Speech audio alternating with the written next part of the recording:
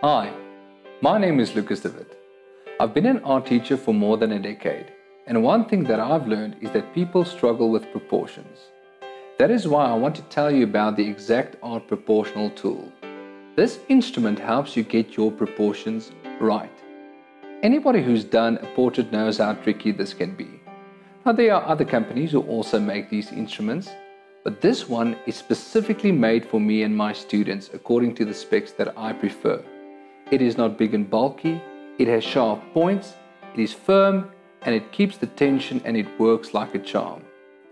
Now I'm going to show you three ways how you can use this tool to help you get your proportions right. It doesn't matter whether you are a professional artist or a novice.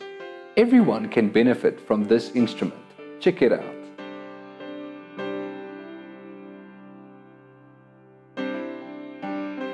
Before I demonstrate the different ways which you can use the Exact Art Proportion tool, let me first explain the principle behind this instrument.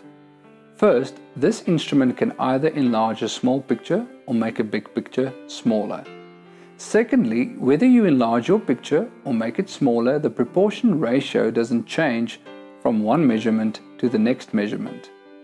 Now if I tighten the nut at the center position, then my picture will be enlarged by a fraction if I measure the picture with a side that has holes in and I apply the measurement on my canvas with the opposite side.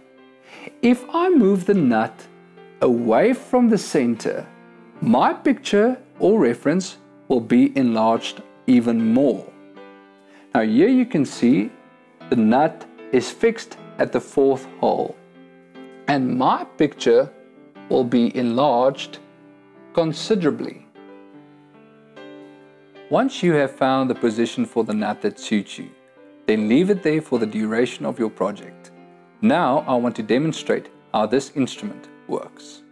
The first method I call the training wheels method. This method works great for people who have no or little drawing skills. Start by drawing two middle lines on your picture, one vertical and one horizontal, and do the same on your canvas.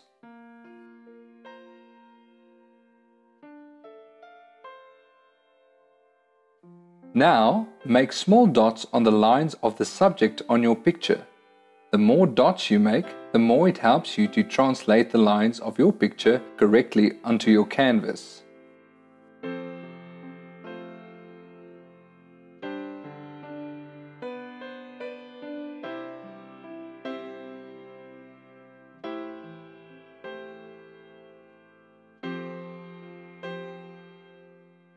Next, determine the proportion ratio on your Exact Art Proportion tool. For this demonstration, I've tightened the nut at the middle position.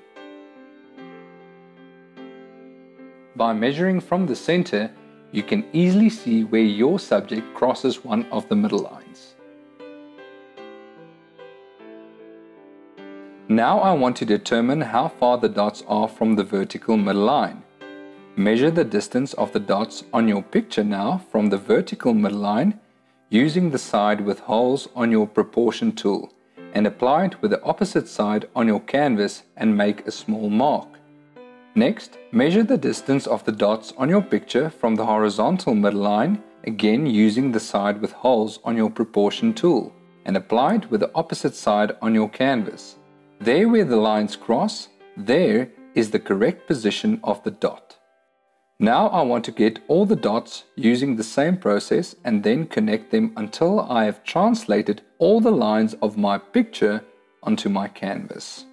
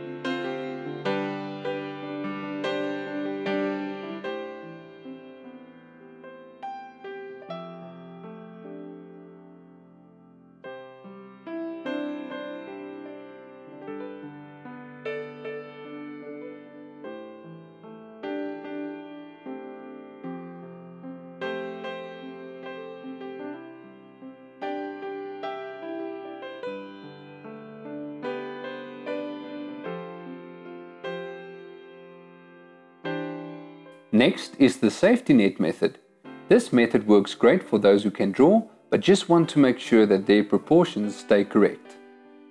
Take your pencil and make a mark where the top of your subject should be on your canvas. Don't work too close to the edges. Now determine the slant of the head.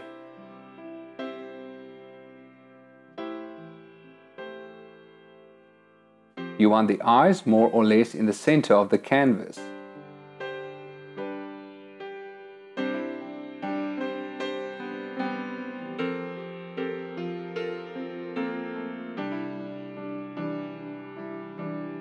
Decide on the proportion ratio of your instrument and start to measure from the top of the head to the bottom of the chin and apply the measurement on your canvas by making a mark where the chin and the top of the head should be.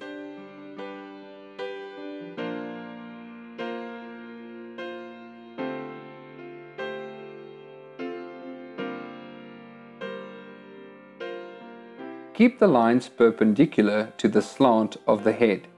Next is the breadth of the head. Remember to measure using the side with holes on your proportion tool and to apply it with the opposite side. Keep the axis of your portrait in the middle when drawing a front-facing portrait and draw the lines marking the sides of the head parallel to the axis of the face. Now you have a box to work in. Next, measure the distance from the top of the forehead to the top of the head and make a small mark. Now you want to determine the distance of the eyebrows from the top of the head.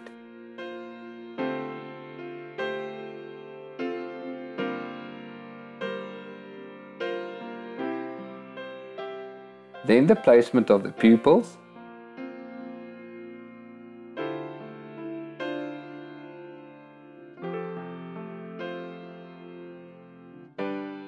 and the bottom of the nose. Remember, you can also measure from the bottom of the chin. Now establish the middle line of the lips.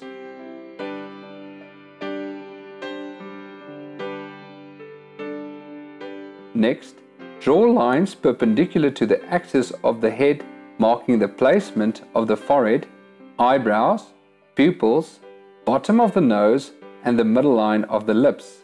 Now that we have all the horizontal lines of the face, we want to move on to the vertical lines. Start with the pupils and remember to space them evenly relative to the axis of the face.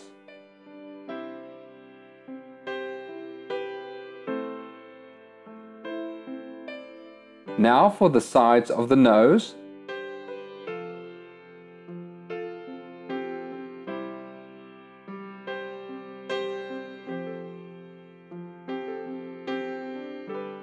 corners of the mouth and eyes.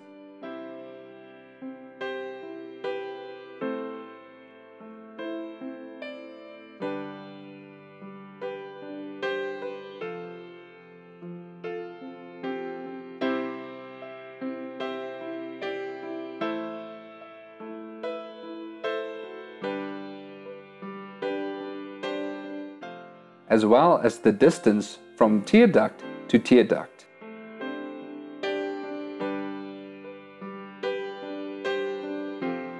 Note that the tear ducts are a bit lower than the pupils. Lastly, measure the distance from hairline to hairline across the face.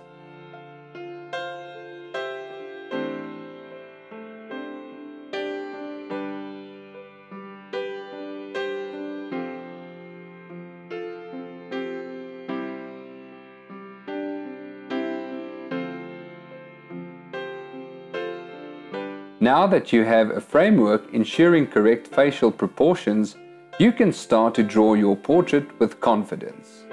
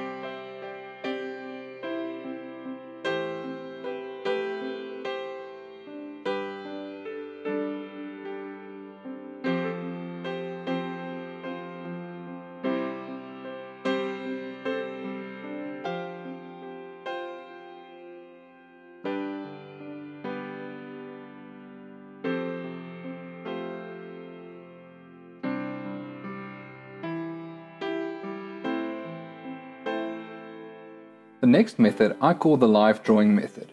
This method is intended for artists who prefer live drawing instead of working from pictures, though this method does not differ from the safety net method with regards to portraiture and constructing a basic framework to work from. The important thing when working from a live study is to have a fixed position in front of your canvas and to measure the proportions of your study with a fully outstretched arm. Otherwise, the proportion ratio will differ from one measurement to the next measurement. Start by setting up your proportion tool and get the nut in the right position. I found that tightening the nut at the sixth hole was just the right setting for the size of the head that I want on my canvas. Next, just like the safety net method, you want to construct a proportionally correct framework to work from.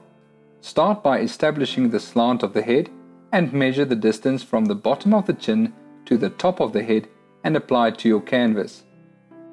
Next, measure the distance of the eyebrows, the pupils, the bottom of the nose, and the midline of the lips from the top of the head or the bottom of the chin and apply it to your canvas. Now that all the horizontal facial lines are in, determine the distance between the hairline as well as the back of the head to the front of the face. Now you want to establish the distance between the pupils and the corners of the mouth. Now that your framework is set up, start to block in big basic shapes, paying attention to the angles and distances of the lines of your study. Then move on to the finer detail and subtle curves and finish by erasing your construction lines. I hope this tutorial was insightful. If you want to buy an exact art proportion tool, please visit the Facebook page and leave a message. Thanks for watching and don't forget to like the video.